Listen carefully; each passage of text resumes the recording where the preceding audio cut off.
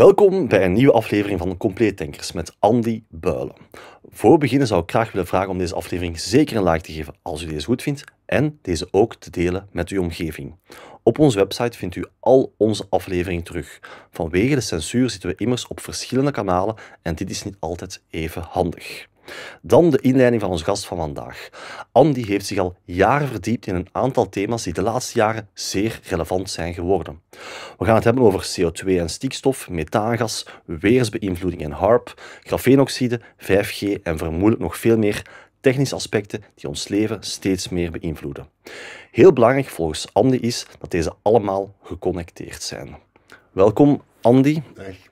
Ehm, klopt het ongeveer een beetje wat ik in mijn inleiding heb, heb gezegd? Want je hebt wel een heel brede expertise. Hè? We hebben net al een beetje, beetje gepraat. En ehm, misschien eerst beginnen van, van waar is jouw interesse in deze domeinen eigenlijk? Hoe is dat ooit ontstaan eigenlijk? Uh, ik ben altijd al geïnteresseerd geweest in uh, alles wat met het menselijk lichaam te maken heeft. Um, zowel uh, biologie, chemie, biotechnologie, later dan ook ortomoleculaire geneeskunde. Dus, um, en ik ben ook uh, ja, naar techniek toe, uh, ook elektromechanica was, ook iets, uh, was eigenlijk iets waar ik niet zoveel van af wist, maar ik me daarom juist ben gaan in verdiepen. Ja. En ehm, ja, dat helpt me om de verbanden te leggen tussen de chemie, de techniek, ehm, heel wat processen die zich afspelen. Ja. Wat ik eigenlijk wel interessant vond, hè, want we hadden net al een beetje gesproken, is de meeste mensen die we al bij ons hebben gehad bij compleetdenkers, um, uh, zijn kritisch geworden of, of hebben zich, zich kritisch uitgelaten over uh, de coronacrisis. Mm -hmm. maar bij jou is dat blijkbaar niet de oorzaak geweest, maar was de oorzaak allee, van uw kritisch denken vooral de crisis of de oorlog in, in Oekraïne? Dat is eigenlijk het moment geweest waarop ik besefte dat wij belogen worden. Cru te zeggen, maar zo is het. Um, ik had uh, in het verleden um, heel wat documentaires gezien over Oekraïne en het uh, nazisme. Dus de oorlog is ook niet begonnen zoals wij worden wijsgemaakt in 200, 2022. Dat is begonnen in 2014. Ja. Um, dat was destijds ook uh, Barack Obama met uh, dan als vice-president Joe Biden, ja. die nu dus president geworden is en van de gelegenheid gebruik gemaakt heeft om zijn werk af te maken. Uh, België zat er ook voor een stuk tussen. Guy Verhofstadt heeft destijds op de Maidan de ja, extreemrechtse bewegingen gaan toespreken. Uh, dingen gaan beloven, uh, zoals uh, steun bij de oorlog. er was geen, geen sprake van een compromis. Het was oorlog dat er moest gevoerd worden. een paar dagen later, de dag nadien, is eigenlijk dan een grote betoging ontstaan. Ja. Daar heeft Amerika dan gebruik van gemaakt om ehm, de president buitenspel te zetten door scherpschutters in te huren en die zowel op de betogers als op de politie te laten schieten. Gevolg was, de politie dacht dat ze beschoten worden door de betogers, dus die schieten terug naar de betogers. Omgekeerd, betogers vallen politie aan. Uh, heel veel doden. En uh, ja, de president werd dus uh, beschuldigd van het bevel gegeven te hebben. Dus die is uiteindelijk moeten vluchten, want Amerika, die dus de opdracht had gegeven, deed zich dan voor als uh, de beschermers van het volk. En uh, ja, goed, dus uh, de president is gevlucht en dan is het nazi-regime aan de macht gekomen. En dat is ook al begonnen eigenlijk in de Tweede Wereldoorlog. Het einde van de Tweede Wereldoorlog, de, nazi, de nazi's die naar de tribunalen moesten om berecht te worden, die zijn door de Amerikanen hier gewoon weggehaald uh, ja, dus Amerika kwam. De Amerikanen hebben eigenlijk in de oorlog eh, zich steeds afzijdig gehouden. Behalve dan de laatste momenten toen beide legers uh, doodmoe waren, totaal uitgeput. De oorlog eigenlijk zo goed als gedaan was. Dan zijn ze hier toegekomen als de grote helden. Ondertussen hebben zij de nazi-geleerden helpen ontsnappen. en ook de nazi-officieren. Ehm, bedoeling was natuurlijk om hun eigen leger eh, te versterken op die manier. Maar op die manier zijn ook de experimenten op mensen blijven doorgaan. Dus wat in de concentratiekampen is gebeurd, is nadien blijven gebeuren in alle landen waar de Amerikanen hebben gevochten, krijgsgevangenen. Uh, op gevangenen in ja, gewoon staatsgevangenissen ook. Welke soort experimenten zijn dat dan, of waren dat dan? Ik denk dan uh, experimenten op gebied van genezen van wonden. Dus uh, pijnbestrijding. Dus je kunt al gaan denken wat voor experimenten dat, dat zijn. Uh, maar ook techniek pakken, bijvoorbeeld om de piloten die in de zee terechtkomen, in de Koude Zee, die door ja, onderkoeling stierven, om die zo lang mogelijk in leven te houden. Dus dan werden mensen in een ijsbad gestoken en ging men kijken hoe lang dat die blijven leven. Dan deden andere mensen die eh, zo'n pak aan en dan ging men testen hoe lang ze op, met dat pak aan bleven leven. Dus verschrikkelijke experimenten. Die zijn doorgegaan. Uh, zoals ik zei, de nazi's uh, zijn hier weggehaald. Die hebben dan functies gekregen, hoge functies in bedrijven, zoals Moderna, Pfizer. BASF uh, Bayer. Uh, Bayer bijvoorbeeld, die destijds uh, Cyclone maakte. Dat was het, ik geloof dat het Bayer was, kan ook Moderna geweest zijn. In elk geval, die maakten de, het product dat in de concentratiekampen in de gaskamers werd gebruikt om de, om de mensen te vergassen. Dat was Cyclone. Okay. Dus dat was hun eerste, product, hun eerste productie. dus voilà, en op die manier is alles blijven en uh, wat heb je dan dit jaar, want het conflict is begonnen, alleen, je zegt het heel goed, mm het, de oorlog of het conflict is eigenlijk al begonnen in, in 2014.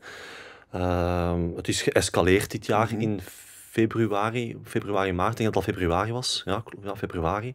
En als ik u goed begrepen heb, is er dan iets gebeurd dat jou heeft wakker gemaakt? Mhm. en, en wat was dan juist het feit dat, dat mm. bij jou ervoor heeft gezorgd dat je hebt gezegd van oei, nu zie ik het precies wel allemaal anders. Behalve het punt dat uh, ik wist dat er dat, dat de, ja, Oekraïne moet je bezien als Oost-Oekraïne en West-Oekraïne.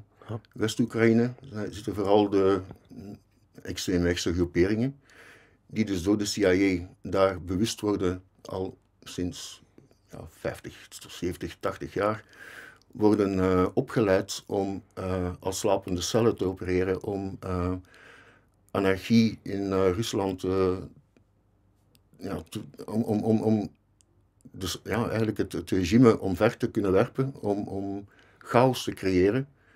En die groeperingen die hebben ze nu dus gebruikt in die oorlog. En ik wist dat de kinderen vooral worden geviseerd en de burgers. Uh, het is geen uh, oorlog van soldaten tegen soldaten of militairen tegen militairen. Het zijn echt extreem rechts tegen uh, de oorspronkelijke bevolking eigenlijk. in Oekraïne heb je Russisch sprekende mensen, allee, mensen van Russische origine. En dan heb je ja, Oekraïens spreken. Maar ehm, er is een strijd. Ja, moet ik zeggen, eigenlijk zijn ze steeds broeders geweest van, van, van, van éénzelfde moeder, zou je kunnen zeggen. Ja. En sinds de Tweede Wereldoorlog is daar dus verandering in gekomen door uh, ja, uh, Amerikaanse inmenging -hmm. dan. En, en, wat, is ja, wat, is er dan gebeurd? Um, we zijn eigenlijk begonnen met het bombardement op het ziekenhuis, uh, die materniteit die zo gezegd geraakt was.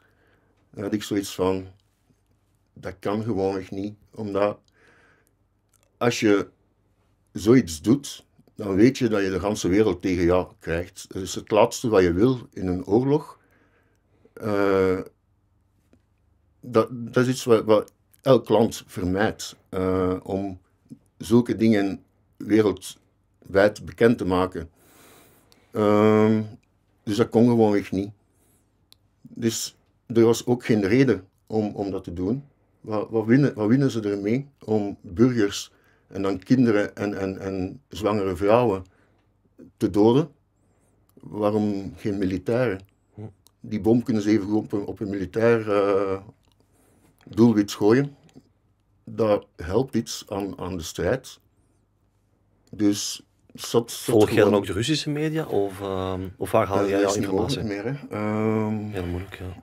Er is enorm veel van het internet verdwenen. Dus uh, ook documentaires waar ik van sprak. Uh, dingen die vandaag nog te zien zijn, zijn morgen al verdwenen. Uh, ja, de, de media van ja, de medische actualiteit, de, medische, de Russische actualiteit, die, die kan je niet volgen. En het is niet Rusland die de verbinding met het Westen heeft verbroken. Het is het Westen die de verbinding met Rusland heeft verbroken, zodanig dat wij niks weten. Want, en daar komen we dan naar uh, COVID en zo toe. De Russen willen niks anders dan ons duidelijk maken wat er aan de hand is. En uh, dat is al begonnen, ik geloof 2018. Dat is een eerste keer uh, de laptop van Hunter Biden, waar dingen op stonden die betrekking hadden tot ja, allerlei toestanden, verduistering van geld, corruptie, omkoping, um, kinderporno ook. Ja. Um, dat zie je nooit in onze media. Nee, nee, nee, nee. En ja, dan ook de verwijzingen naar biolabs. Dus dat is toen ontkend geweest. Um, dat was Russische desinformatie, Russische leugens. Uiteindelijk is gebleken, uh, ik geloof vorig jaar, uh, dat het dus wel klopte. Alles klopte. Het is dus inderdaad zo dat uh, president Biden en zijn zoon betrokken zijn in die biolabs en dat COVID ook niet is ontworpen ja, dat COVID niet uit de natuur komt, zou ik eerst zo zeggen. Het komt niet van een vleermuis. Het is een virus van een vleermuis, maar die is gemanipuleerd. Is uh, door gain of function uh, veel sterker en veel uh, overdraaglijker gemaakt. En daar zit, het, daar, daar zit het bedrijf van, van Hunter Biden achter. En, um, achter de creatie van het coronavirus dan. Ja. Dus, die waar, waar, heb je die informatie dan? Of is dat van, komt dat van de computer van, of de laptop van... Klopt, ja, okay. komt daarvan. Um, nu, wacht even mijn klus kwijt. Um, dus die laptop, uh, die, die biolabs, uh, waarvan dat er, hoeveel waren er? 32 waarvan aanvankelijk spraken, die de Russen dan aan het bombarderen waren. Uh, dat klopt ook niet. Er, zijn, is geen bombardement, want uh, als je zoiets bombardeert, een biolab, dan ga je de bacteriën, de virussen verspreiden, de pathogenen. Um, dan werd er gesproken over de ultrasonebom, dus de vacuumbommen. En daar, dat gaf mij eigenlijk uh, een bevestiging van, ja, er zijn inderdaad biolabs die ze als doelwit kiezen. Of dat die vacuumbommen ooit zijn gebruikt, weet ik niet. Maar een vacuumbom die, uh, is heel nauwkeurig. Dus uh, die gaat zijn doel wel vinden, maar die heeft bepaalde omstandigheden wel voldoende zuurstof nodig om tot ontploffing te komen. Als er een beetje mist of zo is, of de condities zijn er niet, dan ontploft die niet.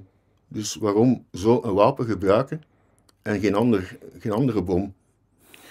Nu, het voordeel van uh, dergelijke bommen is wel dat vacuumbommen, dus ze trekken de zuurstof aan, ze gaan het niet uh, verspreiden, dus de pathogenen gaan ter plaatse blijven.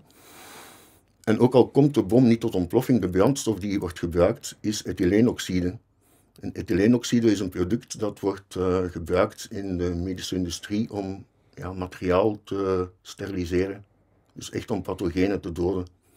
Dus vandaar, toen dat hier bekend werd, had ik iets van, in, ja, waarschijnlijk zijn ze inderdaad dus toch uh, biolabs aan het uh, targeten. En dus voilà, dat was... Voor je de eye-opener en, en dan ben je ook uh, het breder gaan zien. Mm Want in de coronacrisis, als ik het goed begrepen heb, was jij wel mee in het narratief van de overheid. Ehm, Had je, was jij ook bang voor corona het eerste jaar? Of? Ja, uh, ja. is heel goed gespeeld. Uh, zoals ze het hebben gepresenteerd en de, ja, de enige correcte, de enige juiste beslissing afgaande op de informatie die we kregen, was om te laten vaccineren. Vaccineren, we gingen de overdracht stoppen. Mm -hmm. we gingen we deden het voor de anderen, hè. we deden het voor onszelf, maar ook om de economie er dan terug bovenop te helpen.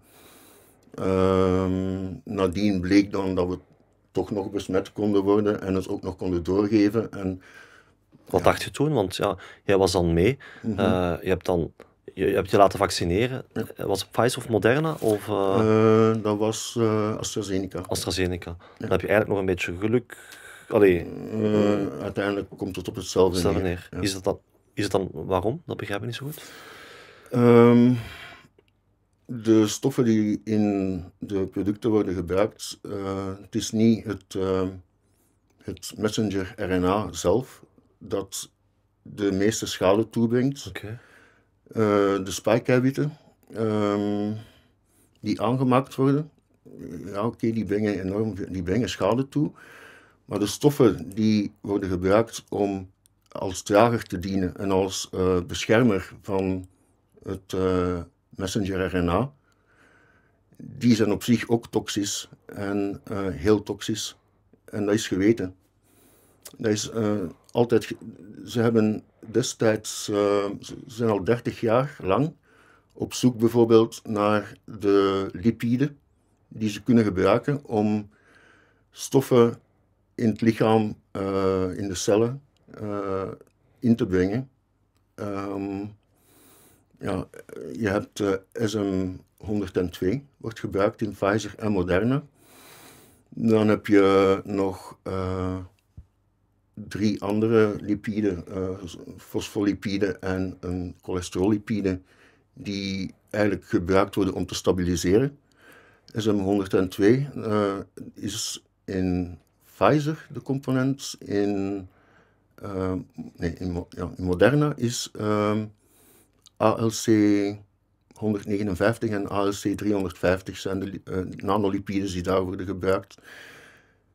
Uh, die dienen om messenger-RNA uh, op, op vast te hechten en dan in te kapselen eigenlijk, zodat ze beschermd zijn dat onze fagocyten die niet als lichaamsvreemd gaan detecteren en dat ze ter plaatse kunnen afgeleverd worden.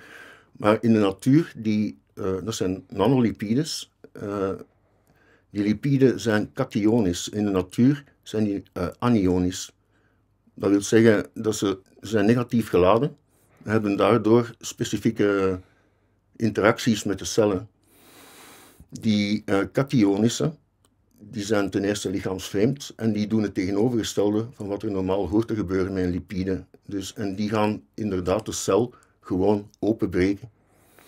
Dus wat gebeurt er? Dat is um, SM102 uh, komt in, in de bloedbaan terecht. Um, dat gaat zich binden aan, aan eiwitten, dus spike-eiwitten, maar ook gewoon lichaamseiwitten.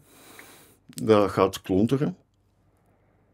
Um, ja, vandaar dat je dus al die eerste symptomen en die eerste bijwerkingen van de vaccins had.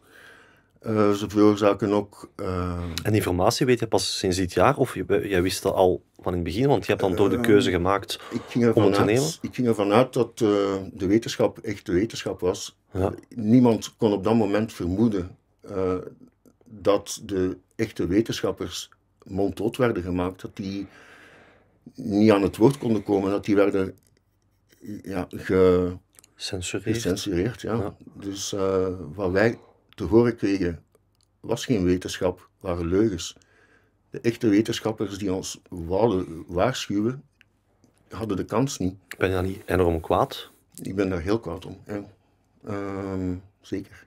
Ja, het is ook verschrikkelijk wat er is gebeurd. Het is, um, zoals ik net zei, afgaande op wat we te horen kregen, de wetenschap die we te horen kregen, was de enige juiste beslissing om te laten vaccineren. Ja, dat is, uh,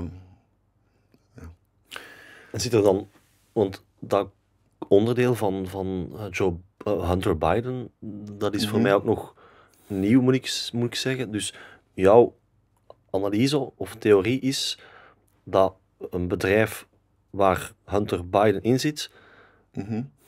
het coronavirus mee heeft Ja, gecreëerd. eigenlijk degene die het heeft ontwikkeld eh, is in dienst van de CIA, is eh, Anthony Fauci.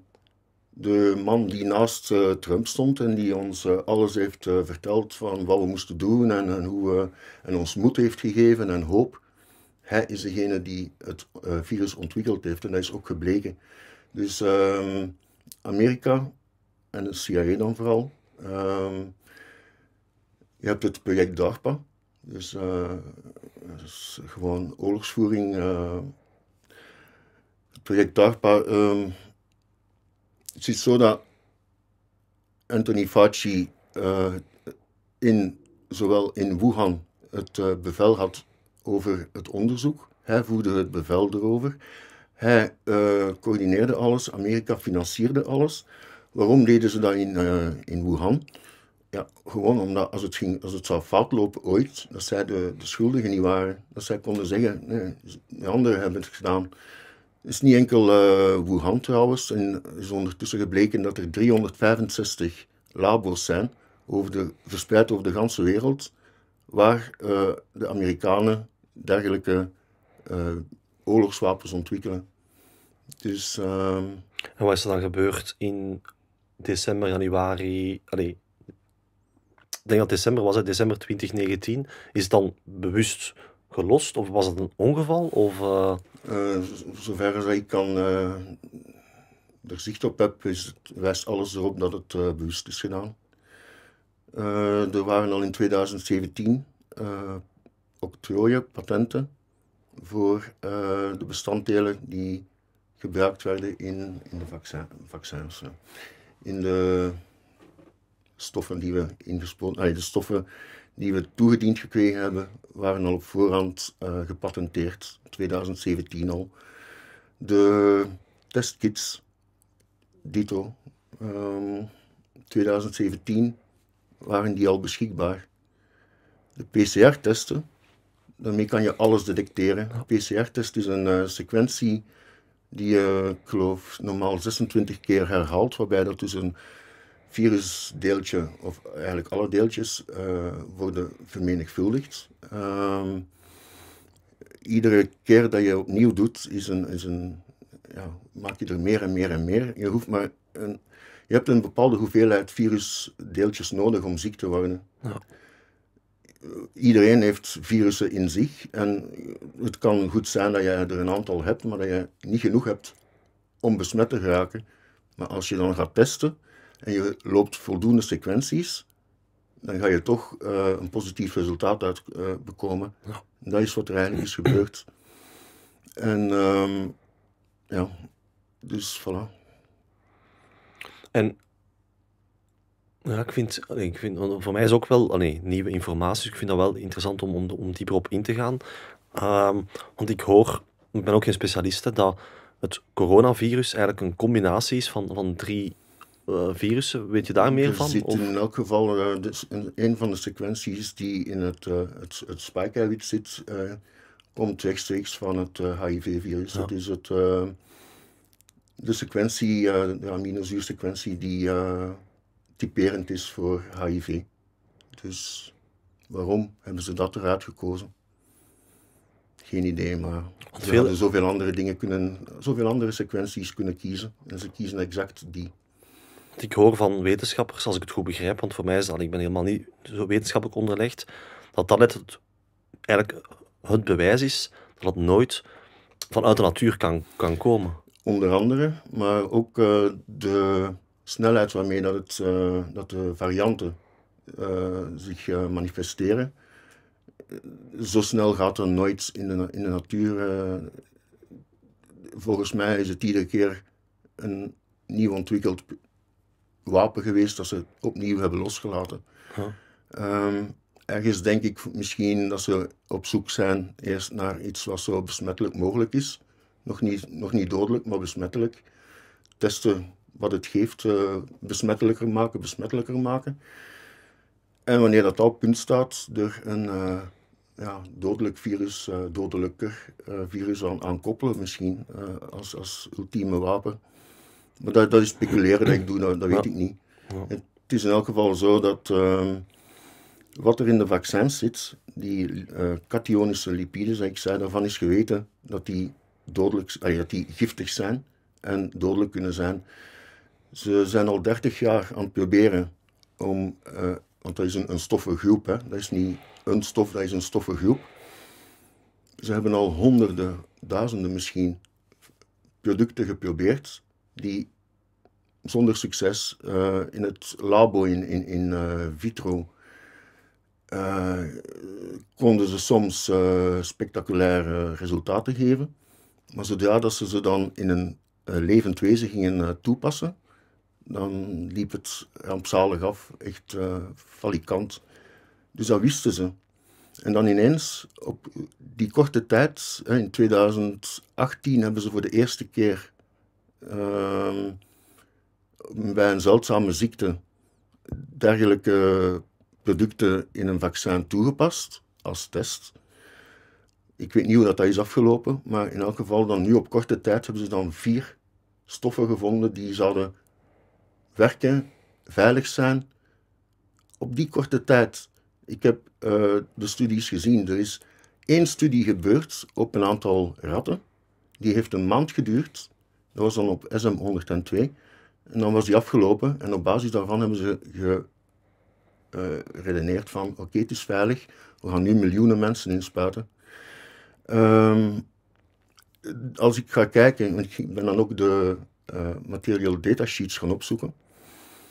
Um, ik heb er nog kunnen vinden van voor 2021, maar maart 2021 moet er iets gebeurd zijn, ik weet niet wat, maar dat is blijkbaar alle datasheets zijn op die moment aangepast. En ik heb, uiteindelijk zijn hebben, het is een firma uh, die uh, SM, SM102 uh, verkoopt op alle documenten staat dat het niet is voor menselijk gebruik en zelfs niet voor dierlijk gebruik. Het mag enkel toegepast worden in eh, wetenschappelijke studies, maar niet eens voor dieren. Dus daar hebben, daar hebben ze de mensen ingespoten. Uh, Miljarden mensen zijn er. Ja. Er is ook niet getest op uh, toxiciteit. Er, als, als je de de datasheets bekijkt, er staat niks op. Er staat niks op. Uh, er staat overal niet, uh, voldoet niet op basis van de gegevens die we hebben. De gegevens die we hebben, maar als je niet test, heb je geen gegevens. Er is niks getest. Ze weten zelfs het vlampunt niet, het smeltpunt, de pH. Niks. Er is niks van geweten. Op sommige staat zelfs niet op welk, wat de kleur is van het product. Hm. Dus, maar die van 2017, die ik in handen heb gekregen, daar stonden wel heel wat andere dingen op. Kankerverwekkende eigenschappen. Uh, Sint-Andrieskruis, dus doodskop uh, voor zware, vergiftig, zware giftigheid. Dat is in 2021 veranderd naar schadelijk. Dus van giftig naar schadelijk. En zo is alles aangepast. Uh, alle data is gewoon verdwenen. Wat ik frappant vond, maar ik kan me uiteraard vergissen, was dat het leek erop dat in de landen waar het meest gevaccineerd werd, er veel meer virusverspreiding was. Dat blijkt nu ook dat er daar ook de, de grootste uh, dodental is. Dus, uh maar ook blijkbaar meer coronabesmettingen. Ligt dat aan het feit wat erin zit, in, in, in die ja. vaccins? Of? Die producten die ik uh, net zei, die geven inderdaad vergiftigingsverschijnselen die lijken op corona, zoals ontstekingen van longweefsel, hartzakje, noem maar op. het is al zo dat ik zei dat het lipides zijn. Nu, er is een. Dus ik moet even kijken hoe ik het uitleg. Um, moet ik eerst zeggen, wat er in de vaccins zit, die lipides, die zorgen ervoor dat onze lichaamcellen eh, vervormen. Dus uh, die kationische nanolipide, die hecht zich aan onze cel. Hm. op basis van de, van de vorm van een cel gaat een, gaat een, een fagocyt die vernietigen, die gaat die aanvallen, die gaat die, ja, die, gaat die verwijderen. Dus doordat die vervormd is, denkt ons lichaam dat dat een pathogeen is en vernietigt onze eigen lichaamcellen. Dus uh, ja, uiteraard, dat, dat, dat, dat geeft uh, schade aan alle organen. Uh, vooral ontstekingen, maar zoveel meer. Ehm, pech 2000 dat erin zit, polyethyleenglycol, is gebleken, is geweten dat het eh, het hormoon dat uh, zowel mannelijke als vrouwelijke hormonen in uh, het lichaam aanstuurt om te produceren, dat het dat tegenwerkt, dus het maakt onvruchtbaar. Zowel mannen als vrouwen worden onvruchtbaar door polyethyleenglycol. SM102 is nooit ontwikkeld om geïnjecteerd te worden, dat was voor oraal gebruik.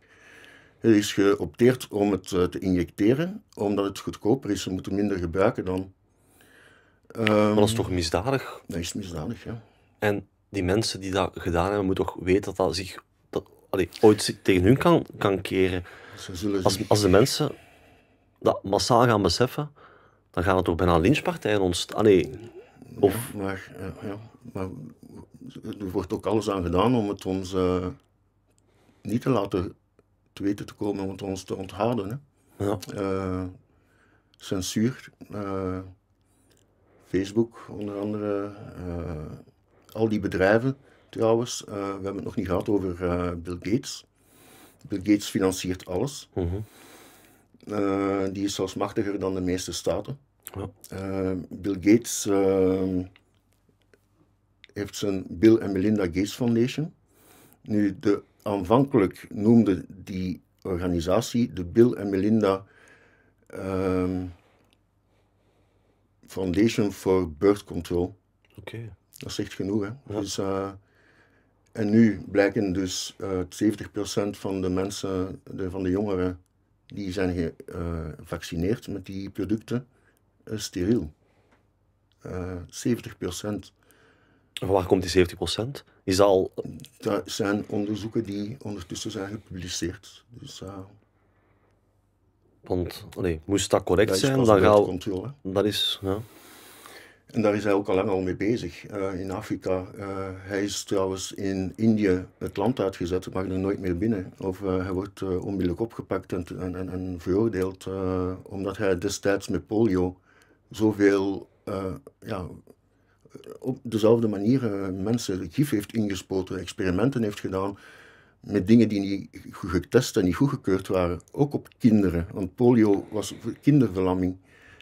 Uh, ja, dus... Maar nog even terugkomen op die laptop van, van Hunter Biden. Mm -hmm. ze hebben dan drie verschillende virussen gebruikt, waaronder hè, ook het HIV, of, AIDS, of, of vijf of zo. Okay. Of verschillende alleszins. Maar zo, gaat het dan voor zorgen dat in de toekomst meer mensen HIV gaan krijgen? Ook ehm, na vaccinatie dan, zeggen, want... Het, uh, de schade die wordt toegebracht door die stoffen waar ik het over had, uh, zijn vooral radicaal uh, ja, oxidatieve stress dat ontstaat in het lichaam. Dus hoe moet je zeggen, dat is oxidatieve stress is, is eigenlijk uh, ja, waarvoor dat wij antioxidanten gebruiken, zoals vitamine C, vitamine E, vitamine D, uh, om die vrije radicalen die ontstaan, die ons lichaam schade toebrengen, om die te neutraliseren. Die vrije radicalen zijn wel nodig voor bepaalde dingen, maar die moeten onder controle gehouden worden. Maar dat is dus de schade die, die het toebrengt. En dat heeft inderdaad te maken met, uh, heeft rechtstreeks invloed op, ons, op onze weerstand. En over weerstand gesproken tijdens de, uh, de COVID-maatregelen die zijn genomen, daar is alles aan gedaan om onze weerstand te ondermijnen. Sporten mocht niet meer. Sporten is noodzakelijk om het immuunsysteem te boosten. Buiten komen was verboden. Uh, we moesten ook ons gezicht gaan bedekken. Verder waren we ook. Hè. Dus vitamine D, zonlicht, kregen we niet te pakken. Zonlicht is nodig om vitamine D aan te maken. Uh, de mondmasker zelf, er zit grafeenoxide in. Dat is de reden waarom dat de eerste keer de mondmaskers uit de handel zijn genomen. In België of was dat een wereldwijd probleem? Wereldwijd. Uh, dat was uh, vooral van Shanghai. Maar die Shanghai, die, uh, zijn, dat zijn de typisch de blauwe die we ja. kennen. Er zit 1% grafeenoxide in. Nu, dat zit gecoat op polymeren. Dus dat, dat komt niet allemaal vrij. Maar hoeveel uur hebben wij die opgehad gedurende die twee jaar? Duizenden uren. Dus gegarandeerd, dat, dat, dat krakt. Uh, als je dan microscopisch gaat gaan bekijken, iets dat krakt, dan komt iets vrij. Dus we krijgen dat grafeenoxide binnen. Uh, is ook uh, ja, vreselijk schadelijk. Ehm, veroorzaakt longontstekingen. Zie je verband, uh, corona, longontstekingen, de mondmaskers veroorzaken ontstekingen van de, long, van de luchtwegen. Dus um, grafeenoxide kan via de longen ook eventueel in het bloed terechtkomen. En er is ook sprake van, en waarschijnlijk is het ook zo, dat grafeenoxide is gebruikt als uh, skelet, als basis om het uh, messenger-RNA op vast te hechten in de vaccins. Dus waarschijnlijk hebben we het ook ingespoten gekregen. Nu, grafeenoxide stapelt zich op. Um, is uh, ja, enorm elektromagnetisch. Is een supergeleider. Dus versterkt, mm, geloof, er zijn testen gedaan met grafeenoxide, waar is uitgebleken dat het elektromagnetische straling met een factor 7 zou versterken. Waarschijnlijk zelfs veel meer. Um, dat betekent dus de straling die wij sowieso al binnenkrijgen van uh, ja, de wifi, de, de, telecommunicatie, die wordt zeven keer versterkt. Nu, de grens ligt momenteel uh, op 3 gigahertz. Uh, voor wat betreft elektro elektromagnetische straling. Um, die 3 gigahertz, daar wordt al tientallen jaren tegen strijd gevoerd door de echte wetenschappers, niet in dienst van telecommunicatiebedrijven, die dat met minstens een factor 10 willen zien dalen. Om veilig te zijn dan? Om veilig te zijn. Dus dan spreken we over 0,3 gigahertz, dat zij als nog aanvaardbaar zien. Ze zouden het eigenlijk nog lager willen. Waarom zeg ik nou, de microgolf die wij gebruiken, die werkt op 2,4 gigahertz. Oké, die is beveiligd door een kooi, geen probleem. De wifi, die werkt ook op 2,4 gigahertz. En die is niet beveiligd. En dan houden we de telefoon tegen ons oor. En dan staan uh, kankers. Um, nu, met dat grafeenoxide in ons lichaam, maal 7, dan zitten we aan een getal van rond de 20 gigahertz dat ver boven die 3 gigahertz al zit en heel ver boven die 0,3. En dan moet je ook weten dat die 2,4 gigahertz destijds in uh, de Koude Oorlog is gebruikt als wapen om uh, mensen ziek mee te maken. En de, uh, de satellieten, de, niet de satellieten, satellieten zenden ook straling uit, maar ehm, de geheime diensten communiceren op een frequentie die nog hoger ligt. Daar staan wij ook aan bloot. 5G die er nu gaat komen, dat uh, zal zijn op een frequentie van een 50 à 80 gigahertz. Er is er sprake van 180 maal 7. Ik denk dat is dodelijk. Dat, dat, is, dat is gewoon verschrikkelijk. En waarom... Nu... Ja, zit dan een bewuste agenda in, of, of wat is jouw analyse daar? Zoiets, in mijn, volgens mij zoiets... Kijk, als ik dit weet, dan weet, dan weten dan weet de regering, dan weet iedere wetenschapper die er met te maken heeft dat ook, en nog veel meer. Zoiets kan, er zijn zoveel dingen dat het gewoon geen toeval kan zijn. Je kan, één ding kan toeval zijn, maar geen tientallen dingen. Um, over toeval gesproken, dus uh, wat die elektromagnetische straling doet, is ook weer eenzelfde effect als wat COVID deed. Dus zuurstofgehalte in het bloed gaat naar beneden. Uh, het, het, lichaam warmt op. Elektromagnetische straling, net zoals in een microgolfoven. Die frequentie, die, die, die trillingen, die doen de elektronen trillen. Wat dus door wrijving onderling warmte produceert en daardoor gaat het voedsel opwarmen. Dat gebeurt in ons lichaam ook. Um, dus het is aanvaardbaar trouwens, dat staat ook uh, vermeld in de, in, in de documenten. Uh, 1 graad stijging wordt als uh, acceptabel aanvaard. Dat wil zeggen 38 graden Celsius. Wat daarboven gaat pas is als gevaarlijk. Toeval dat 38 graden nu de temperatuur was waarbij dat wij moesten testen laten doen. Ik bedoel maar, we krijgen grafeenoxide binnen. We hebben elektromagnetische straling. Ze gaan die frequenties verhogen. Uh, en de effecten die dat teweeg brengt, zijn exact dezelfde effecten die het virus zou veroorzaken. Zou dat ooit ergens kunnen ingezet worden als wapen vanuit de overheid om mensen te controleren of te bestraffen als ze, als ze, als ze niet volgen? En zou dat dan de reden kunnen zijn dat ze iedereen zo hebben gepusht om die vaccins te nemen? Want eh, er zijn een aantal mensen, in, in Vlaanderen is het ja, minstens 8 à 10 procent denk ik, die de prikken niet hebben genomen. Mm zie je daar een bepaalde agenda in van iedereen moest dat krijgen? Of Um, of is dat nu te complotachtig, uh, die vraag die ik uh, stel? Voor, voor mij is tegenwoordig niks meer te complotachtig. Twee jaar geleden, als ik de dingen zou gehoord hebben die ik nu zelf vertel, dan zou ik mezelf uh, gek verklaard hebben. Maar ehm, nee, het, is, het is geraakt zo ver dat het inderdaad complotachtig allemaal lijkt. Maar jammer genoeg is het werkelijkheid. we zitten in een periode die ja, ik denk, uniek is in de geschiedenis, maar niet in positieve zin in elk geval. Dus uh, ja. En wat zouden ze kunnen doen dan? Is er een bepaalde manier dat je op, bepaalde, dat je op een knop drukt om, met een bepaalde frequentie om iemand die niet luistert te bestraffen? Of uh, die, is... die grafeenoxide die werkt ook op een bepaalde frequentie? Als ja, ik... dan je hebt het nu over de hoge frequenties die schade aan het lichaam toebrengen. Ze kunnen ons lichaam, als ze willen, uh, met, die, met voldoende hoge frequentie, kunnen ze ons levend koken. Mensen die grafeenoxide in zich hebben? Ook, ook zonder. Okay. Als jij blootgesteld wordt, steek je hand in een microgolf en, en ja, als je de kans hebt om het deurtje te sluiten en hem aan te schakelen, wordt je hand gekookt. Dat is 2,4 gigahertz.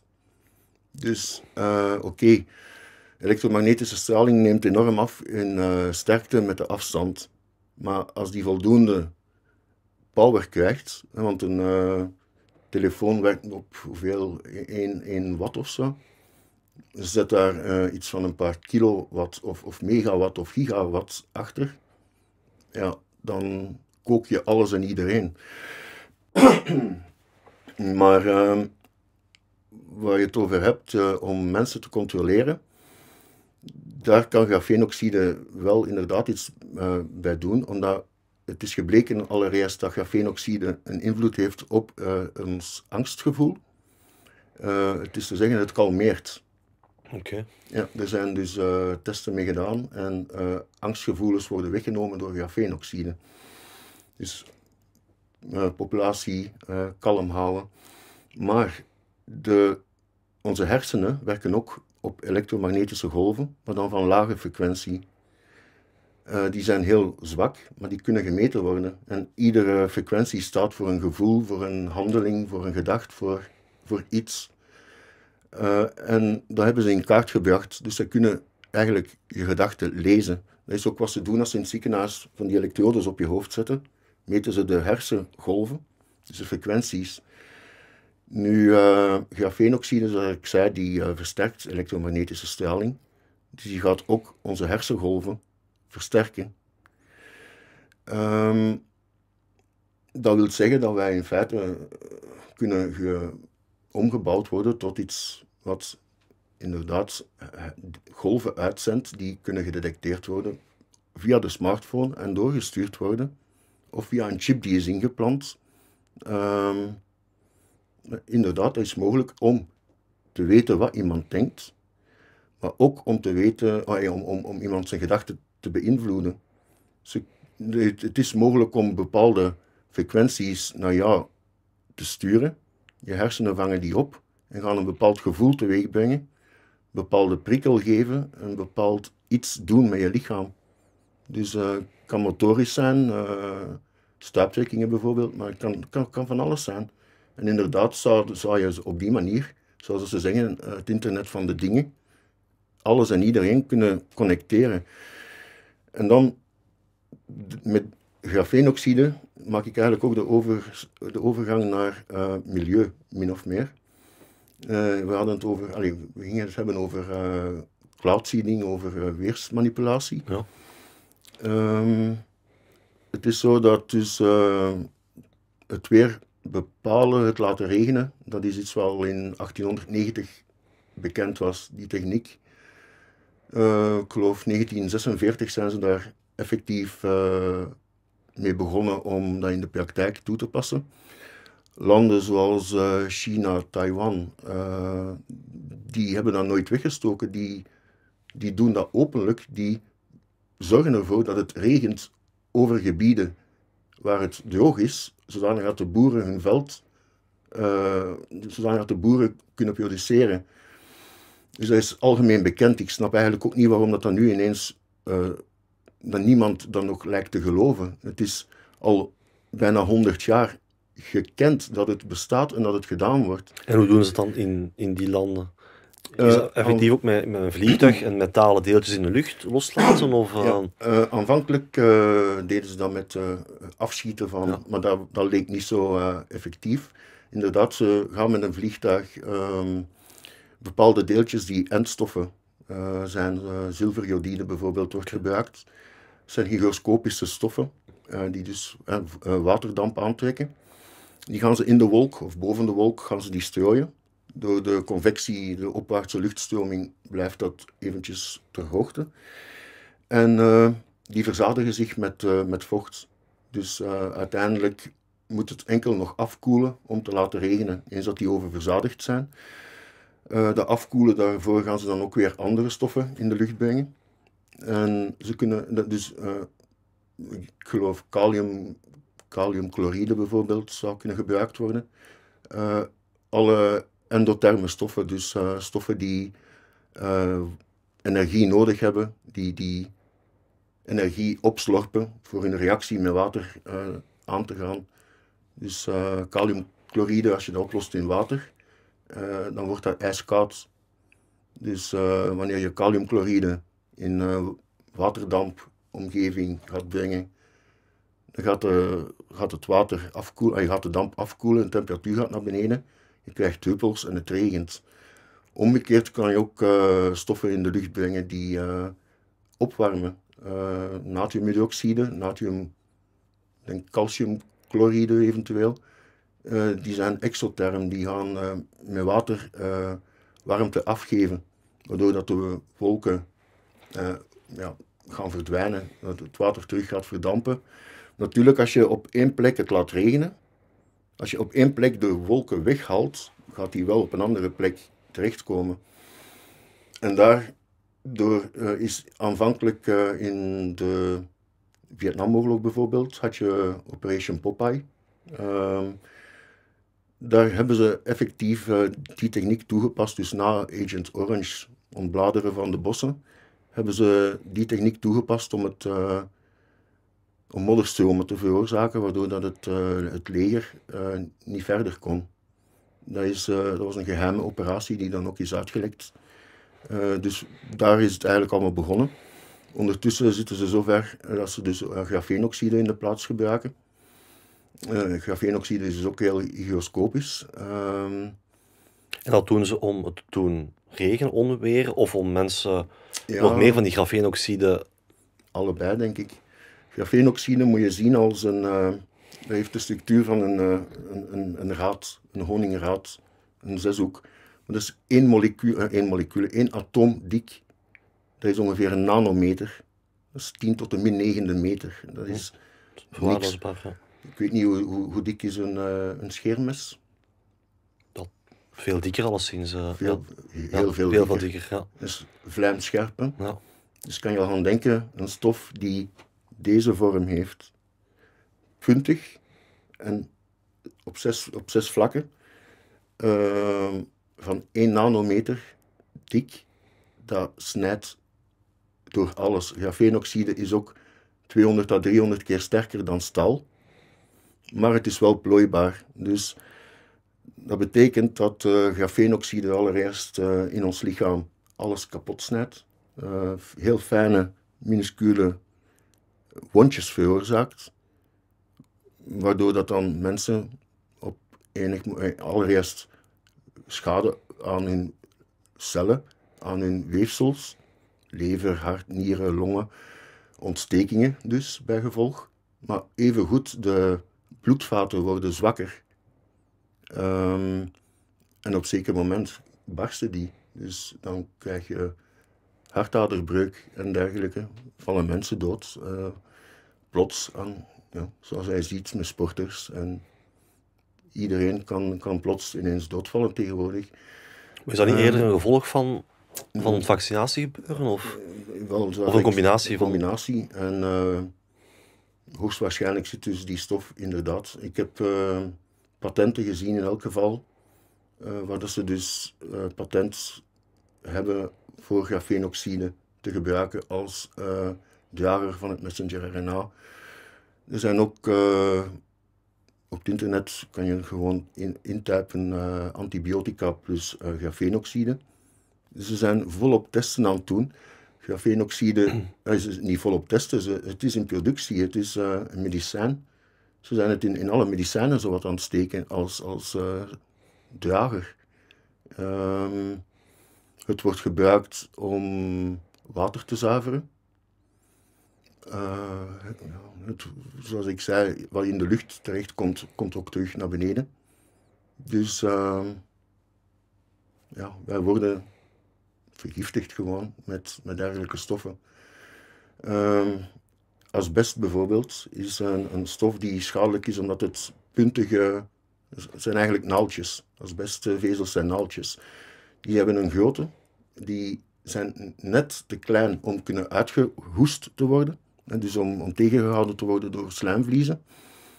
En net niet groot genoeg om door ons lichaamcellen, uh, nee, net, net uh, te klein om, enfin, uh, komt erop neer dat de lichaamcellen gaan ze niet afbreken, omdat de, de lengte, de, de, de grootte niet oké okay is. het gaat de cel eigenlijk doorprikken, dus ze zijn te groot voor de ja. cel. En die kan ze niet omvatten. En wat gebeurt er? Die cel die wordt gewoon doorprikt door die naald. Grafeenoxide, die gaat ook prikken, maar die gaat eerder dan nog snijden ook. Dus dat, dat, dat veroorzaakt dezelfde schade. Asbest geeft longkanker uiteindelijk, na fibrose en, en dergelijke. Dus, uh... En over cloud seeding dan, wie is daar dan verantwoordelijk voor? En dat gebeurt ook in, in, in België dan? Dat gebeurt wereldwijd. Wereldwijd. En, en, en is dat de Amerikanen die daar... Die zijn daar uh, inderdaad heel bedreven in. Uh, die hebben, je, moet, je, kan echt de patenten gewoon opzoeken. Hè. Uh, er zijn honderden methodes die ze gebruiken. Zowel om het te laten regenen, sneeuw te veroorzaken, hagelbuien, orkanen, modderstromen, noem maar op. Alles kan beïnvloed worden. Maar wie doet dan in België? geen idee. Ja. Nee, dat weet ik niet. Ja. Maar volgens jou gebeurt het wel. Ook in België, of, of dat weet ja, ja, ja, ik ben er vrij zeker van. Uh, ja. Maar het gaat veel verder tegenwoordig dan dat. Uh, er is nu... wordt enorm uh, geëxperimenteerd. Het, gaat, het is al verder dan experimenteren. Je hebt HARP. Ehm, dat is een project officieel al bedoeld om de ionosfeer te te gaan onderzoeken. Door, uh, wat, wat is HARP? Dat zijn eigenlijk een 180-tal antennes die opgesteld staan in een bepaalde uh, geometrische vormgeving, zodanig dat ze samen één grote antenne uh, vormen. Daar wordt een aantal gigawatt of megawatt achtergezet als power en er worden elektromagnetische stralingen de ionosfeer ingestuurd. Uh, de frequentie daarvan, dat is ongeveer 10 megahertz dacht ik, die komt overeen met zonnestraling. Uh, de zonnestraling die zorgt in de ionosfeer voor ionen. Dus uh, vooral zuurstof die daar aanwezig is, wordt, ja, gebeurt een, een radicaalreactie. Dus die, die straling zorgt ervoor dat een elektron uit het atoom even weggeslagen wordt, zodanig dat dat heel reactief wordt. Dus een radicaal een zuurstofradicaal uh, met een gewoon zuurstofatoom vormt ozon. Dus op die manier wordt de ozonlaag gevormd. Um, nu, in de ozonlaag, de ozonlaag is nodig om ons te beschermen tegen uh, eh, UVF-straling onder mhm. andere. Alles wat uit de ruimte komt, uh, zonnestraling, die kankerverwekkend is. Dus op dat vlak wordt er ook weer ingegrepen. Um, er zijn met harp, wat, wat je eigenlijk doet, is ook weer het microgolfeffect. Uh, die straling, die, gaat, die trillingen gaan uh, trillingen van luchtmoleculen veroorzaken, wrijving gaan ontstaan, je gaat opwarming van de lucht krijgen. Hoe meer megawatt, kilowatt, uh, gigawatt dat je erachter zet, hoe, hoe, hoe, sterker dat, dat gaat zijn. Nu, 1 liter ehm, gas die damp, eh, een, een, een vloeistof, een 1, mol van een gas, in het geval van water, is 18 gram, 18 milliliter water. Dat zet uit tot 22,4 liter gas. Dus wat krijg je? Dat is een, een, gewoon een explosie.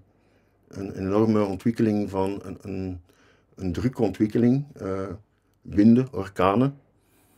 Uh, plus, ja, dus op die manier kan je uh, het laten, kan je stormen zoals Catharina veroorzaken, kan je tot zelfs aardbevingen kunnen veroorzaakt worden. Um, de vreemdste dingen.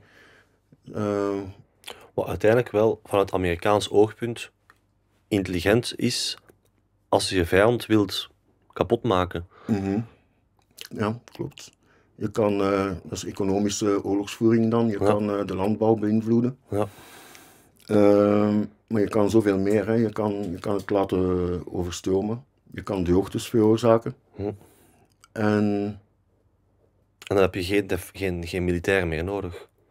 Je zou het dan intelligent kunnen noemen eigenlijk. Mhm. Maar wat is dan de link met, met grafeenoxide? Is dat al om het effect nog groter te maken dan? Of... Uh, grafeenoxide? Nee, ik, heb gewoon de overstap gedaan. Ah, oké, okay, sorry. Ja, okay. naar... Ja. Nee, nee, nee. Um, nee, dus... Uh, ik denk dat dat was. nee, oké. Okay. Uh, dan uh, komen, want we gaan even nadenken. Dan komen, uh, misschien eerst nog de, de 5G uh, daar gaan koppelen, of, of is dat er nog helemaal los van? 5G koppelen aan? Grafeen? Ja, of, ja, grafeen ja. heb ik al de link gelegd. Dat is waar. Uh, nu dan inderdaad naar, naar CO2 en, en methaan. Uh... CO2 is eigenlijk gewoon plantenvoeding. Uh, CO2, het verminderen van CO2-uitstoot is gewoon absurd. Koolstof is aanwezig op aarde in een bepaalde hoeveelheid. Er gaat er nooit bij komen of, of verdwijnen die blijft stabiel. Uh, er kan een klein beetje bij komen uit de ruimte met een meteoor die bijvoorbeeld inslaat, maar dat is het ook. Of van fossiele brandstoffen? Ja, inderdaad. Maar dat zit al in de aarde. Allee, ja. bedoel, hè? Dus dat is een, een, een, systeem, een dynamisch systeem in evenwicht. Uh, we hebben het nu over CO2. Dus uh, een plant, iedere 13-jarige kan dat eigenlijk aan de minister uitleggen. Ehm, een plant doet aan fotosynthese die gebruikt CO2 die ze opneemt uit de lucht, water die ze opneemt uit de grond. En met uh, UV-straling zet die die stoffen om naar glucose. Die glucose is suiker. De plant groeit, maakt er ook nog andere stoffen van. En uh, hoe meer CO2, hoe meer glucose dat die plant aanmaakt, hoe meer plant dat je krijgt plant maakt dan ook vruchten aan of, of granen. Of, eh, meer CO2 betekent gewoon meer voedsel. Ja. Oké, dan kan je zeggen, oké, maar eh, die CO2 die is uit de lucht verdwenen. Die zit nu in de plant. Dus de plant is eigenlijk nodig om het CO2-gehalte te verlagen, laten we het zo zeggen.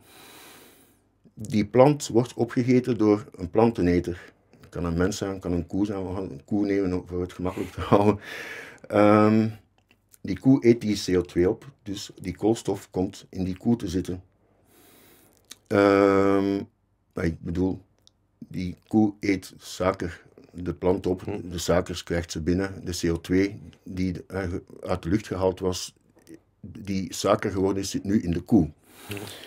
Ehm, een gedeelte daarvan gaat uh, uitgeademd worden, dus uh, gaat verbruikt worden door de celademhaling en, en omgezet in energie en zo. Maar een gedeelte gaat ook achterblijven, uh, tenzij dat je echt alle energie opgebruikt en heel weinig eet, maar bedoel maar, het overschot wordt omgezet in spierweefsel, in vetweefsel, in, in, in koe, om het zo te zeggen. Uh, dus die koe die nu moet verdwijnen, die is eigenlijk een opslagplaats van CO2 die niet in de lucht meer is, maar in de koe zit. Uh, is eigenlijk, allee, het is heel belachelijk eigenlijk hoor. Uh, die koe gaat, wordt opgegeten door een vleeseter.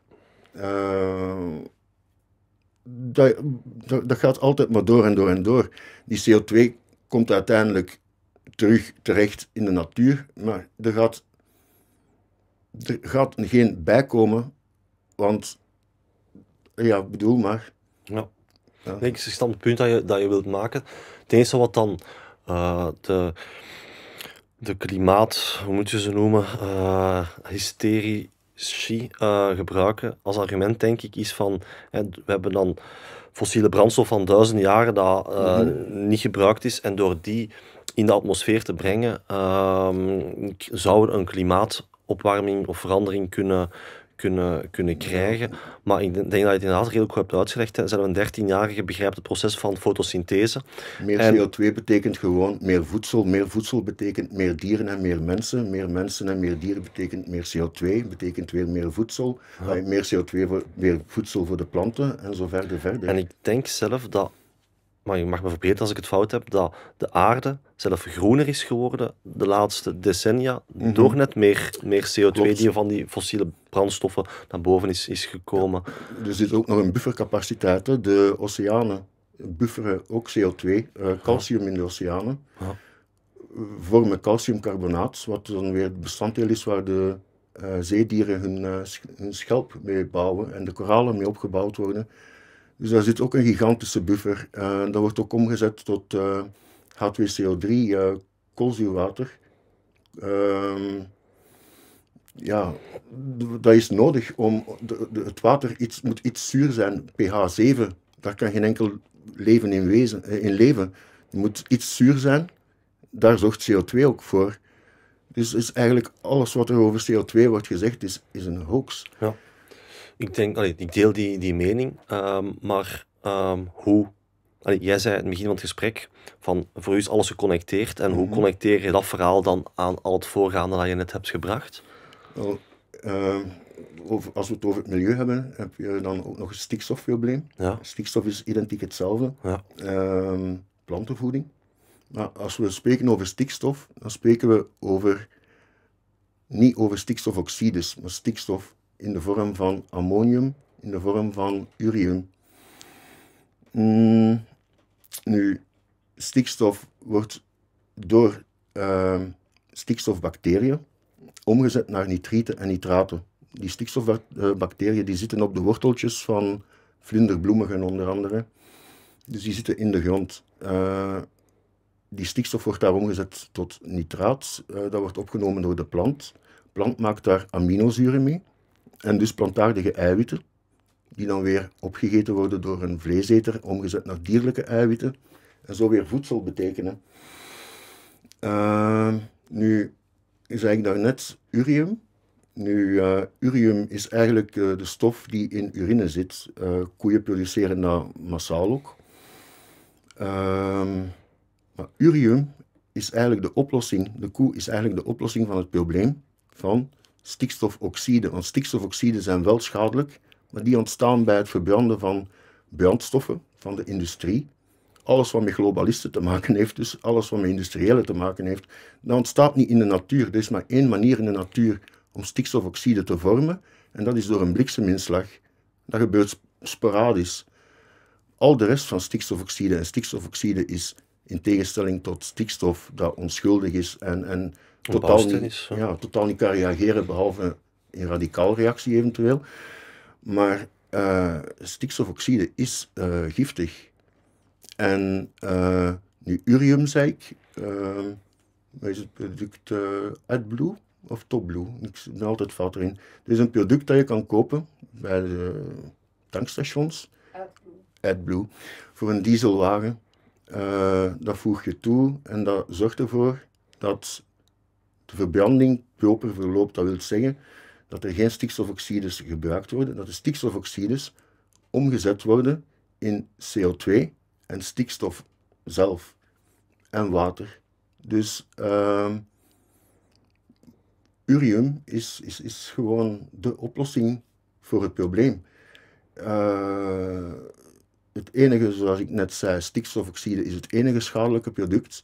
Dat komt niet uit de natuur, dat komt niet van de koe, dat komt uit de industrie. Daar kunnen wij niks niet, niet veel aan verhelpen. Wat we wel kunnen doen is urium opvangen. Uh, zoveel mogelijk mengen met uh, alles wat brandstof is. En op die manier uh, eigenlijk de schadelijke uitlaatgassen omzetten in pure plantenvoeding, in stikstof, in CO2 en water. Dat zijn de drie componenten die je nodig hebt. Dus, En nu hou je eigenlijk een pleidooi uh, tegen het verminderen van de koeien. Hè? Want dat is wat we vandaag in, in, vooral in Nederland al zien, maar weldra waarschijnlijk ja, ook in, nog in, verder gaan. Zelfs we hebben nog methaan. Methaan die uh, zal geproduceerd, die inderdaad wordt geproduceerd door koeien. Uh, je kan perfect de mest van koeien gaan verzamelen. Aseptisch gaan opslaan, dus in afwezigheid van zuurstof waardoor dat, dat omzet tot uh, methaangas. Methaangas is biogas. Hm. We zitten momenteel met een gastekort. Uh, waarom heeft daar nog niemand niet aan gedacht? Ik bedoel, is dat misschien complex of zo? Ik ben geen specialist. Het is, helemaal niet complex. Het is, is, is, gewoon heel eenvoudig. Uh, je hebt een installatie nodig, je hebt een tank nodig. Dat is ook alles. En, en een compressor misschien. Er komt niks, niks uh, is gewoon natuurlijk. Dat, dat zit om naar methaan. Methaan kan verbrand worden. Uh, methaan verbrandt ook weer naar CO2 en H2O. Zuiver, zuiver. Niks schadelijke producten. En zou je dan kunnen transporteren in van die uh, metalen... Allee. Dat kan je inderdaad dat kan je compenseren en, en opslaan natuurlijk. Zoals propaan en, en butaan en alles. Ja, en hoe link je dat dan? Uh, want dat, inderdaad, ik, allee, ik, heb, ik weet zelf niet waarom dat dan niet gebeurt, maar dat lijkt me inderdaad wel een mhm. interessante piste. En hoe connecteer je dan dat stikstof- en CO2-probleem met de andere voorgaande uh, thema's die we hebben aangehaald? Wel, uh, het is eigenlijk simpel. ik, ergens is iemand bezig, heeft het idee om, om de wereld gewoon te vernietigen in mijn ogen. Dat klinkt heel uh, cru en heel uh, ver gezocht, maar als je alles connecteert met elkaar wat er gebeurt, dan kan je niet anders dan besluiten dat echt alles wordt gedaan om de natuur kapot te maken onder het mom van natuurbescherming. Klimaatbescherming, terwijl dat het klimaat zelf wordt beïnvloed en als wapen gebruikt. Daarover wil ik trouwens nog zeggen, om de mensen die denken dat dit uh, complottheorieën zijn. Er zijn conventies uh, afgesloten, uh, verdragen afgesloten, die bepalen dat het klimaat niet mag beïnvloed worden voor gebruik als oorlogswapen. Iedereen die nu zijn pc of zijn laptop of, of zijn telefoon bij de hand heeft, type in. Je gaat gewoon op Wikipedia het ligt, de waarheid ligt gewoon voor ons ogen, maar Maar wie zou er, of waarom zou iemand de intentie hebben om, om de mensheid te, te vernietigen? Dat is toch al wat. Uh, het gaat niet, om, niet echt om vernietigen, maar om macht. Hè? Om macht. Dus uh, machtsstrijd is al eeuwen aan de gang. Dus, uh... Want je zou kunnen zeggen, er is vandaag al een, een, bepaalde elite en die hebben eigenlijk al alle totale macht. Welk voordeel zouden ze erbij hebben om, om, om, ehm, om zulke praktijken toe te passen? Nu proberen we te denken zoals normale mensen. nu denken we zoals normale mensen, maar zo redeneren die mensen niet. Uh, dat zijn psychopaten en die, uh, die doen dingen die, die voor ons uh, niet te snappen zijn en ook geen verklaring hebben. Die willen macht en ja, die willen controle over alles. ze, hebben, ze willen controle over de mens, ze willen controle over de planten, ze willen controle over de dieren. Ze willen controle over het klimaat, over het weer. Hm. Ze willen alles controleren. Uh, en inderdaad verbinden met elkaar en via internet. En dat kan misschien allemaal heel tof en spannend lijken. En in een ideale wereld zou dat ook een positief iets zijn. Maar uh, jammer genoeg zitten we niet, leven we niet in een ideale wereld. Uh. Ja, en wat doe... ik weet dat jij bezig bent met zoveel mogelijk de straling die je binnenkrijgt te beperken, Mhm. hangt het allemaal mee samen? Om, omdat je gezond wil blijven? Of heeft dat een andere reden nog? Ja, eh? ja. Ehm, elektromagnetische straling. eh, ja, dus, ja, je kan die beperken door ehm, bepaalde metalen in huis eh, te gaan gebruiken die die straling tegenhouden. Eh, katoen, katoenen kleding bijvoorbeeld, doet al veel. Eh, hoe belachelijk het ook klinkt. We kennen allemaal de complottheorist met zijn aluminiumen hoedje. Maar aluminium houdt inderdaad elektromagnetische straling tegen. Uh, in welke mate hangt er vanaf van de dikte en zo natuurlijk. Maar dat, het principe is eigenlijk de kooi van Faraday. Dus een uh, geleidende constructie waarvan dat de, gaten die erin zijn moeten kleiner zijn dan de golflengte van de straal. Dus uh, als we spreken over zeer hoge frequenties, dan spreken we over heel korte golflengtes van nanometers. Dan zou je eigenlijk al moeten ja, een, een stof hebben die, die, die bijna ja, volledig. Dus er moeten poriën in zitten, maar die microscopisch klein zijn. Uh, maar er zijn ook uh, met bepaalde stoffen uh, te koop. Het is meestal gemaakt van zilverdraad. Dus zilverdraad die verweven zit in textiel. kokosvezel, geloof ik ook, is een natuurproduct die enorm straling tegenhoudt. Ehm, ja, er zijn mogelijkheden. Maar, maar dat doe je puur voor jezelf gezond houden. Hè? Of, of dat, dat heeft niets te maken met het voorgaande.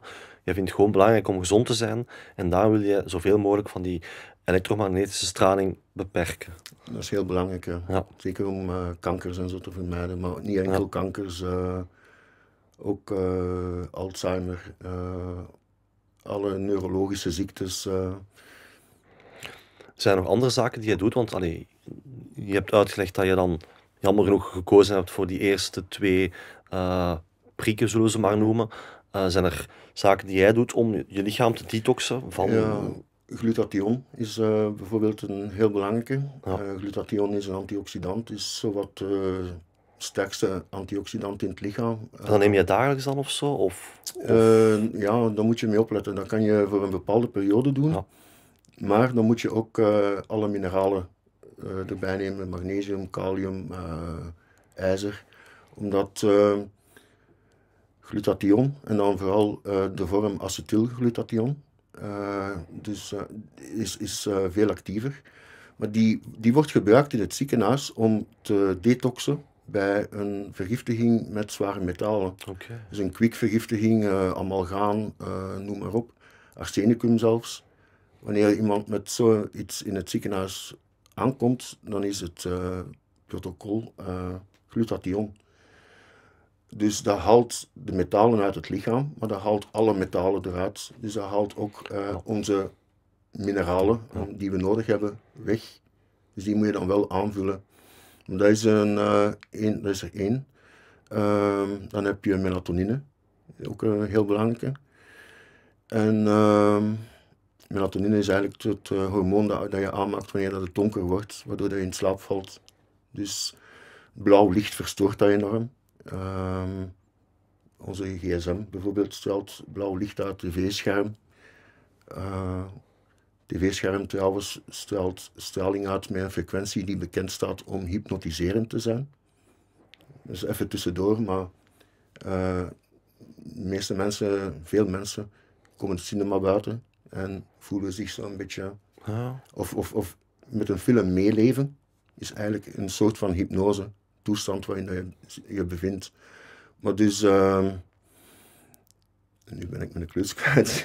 Ja. uh, waar zat ik nu? Nee, je was eigenlijk manieren aan het, aan, uh, was aan, het, aan het uitleggen wat je zelf doet om, om de negatieve effecten van de dus verschillende... Dus antioxidanten zijn ja. heel belangrijk. Um, verder de spijkeiwitten, um, hoe controversieel ook. Um, de stoffen als ivermectine, die dus inderdaad een ontwormingsmiddel is voor mens en dier. Klopt. Maar wel een product is dat de Nobelprijs heeft gewonnen. En dat ook is bewezen, en gebleken en bewezen, kanker te genezen. Ik bedoel, kankercellen te vernietigen en te beschermen tegen het ontstaan van kankers. Dus uh, ivermectine gaat ook de uh, spijkeiwitten uit het lichaam verdrijven. Dus dat is iets wat kan gebruikt worden en eigenlijk zou door de overheid moeten aangeboden worden, volgens mij. Uh, aan iedereen die gevaccineerd of, of, of aan iedereen eigenlijk gewoon misschien. Ja, maar dat gebeurt dus niet. Integendeel, ja. ze verbieden nog altijd. En neem je dat dan zelf ook? Uh, nee, ik, nee. Ja, zoals ik zei, het is verboden. Ja, je kan er wel aan geraken via, via, via, maar dat, ja, dan, dan... verboden is het niemand, het is, het is gewoon, allee, het, uh, het, het weinig, ja, het weinig, het is, ja, weinig artsen schrijven het effectief ja. voor, klopt. Ja. Hoewel dat het momenteel stilletjes bij de, uh, over, de overheid, niet de CDC, uh, op de lijst van geneesmiddelen tegen COVID is bijgezet. Het staat wel nog bij experimenteel, maar in fase zoveel. Hm. Maar het is van in het begin was al geweten ja. dat het werkt. Uh, in India hebben ze het ook toegepast, hebben ze bijna geen Heel doden. succesvol. Ja. En uh, 80% van de doden die, uh, die te wijten zijn aan uh, wat er is gebeurd, hadden kunnen, hadden, hoefden niet te sterven als die vermectine was verstrekt. Ivermectine hebben ze bewust uh, verboden, omdat wanneer er een ander product is dat kan genezen, uh, er geen vaccin mag toegepast worden. De vaccins moesten per se verkocht worden, toegediend. Dus dat is daarom hebben ze ivermectine op de lijst van verboden middelen gezet. En het is ook zo absurd, een dokter heeft steeds het recht om eender welk geneesmiddel te verstrekken wanneer hij denkt dat het kan helpen bij het oplossen van de, ja, van, bij het bestrijden van de ziekte of het, of het symptoom. Uh, maakt niet uit welk medicijn het is. Uh, het is zijn recht, als hij oordeelt dat het kan, om het voor te schrijven.